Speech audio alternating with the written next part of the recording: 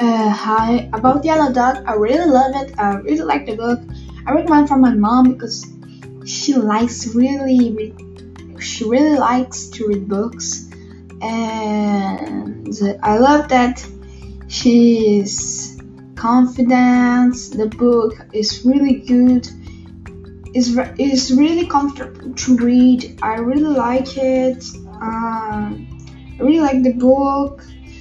I love Yellow Dog. I love the context, right? I love everything. Bye.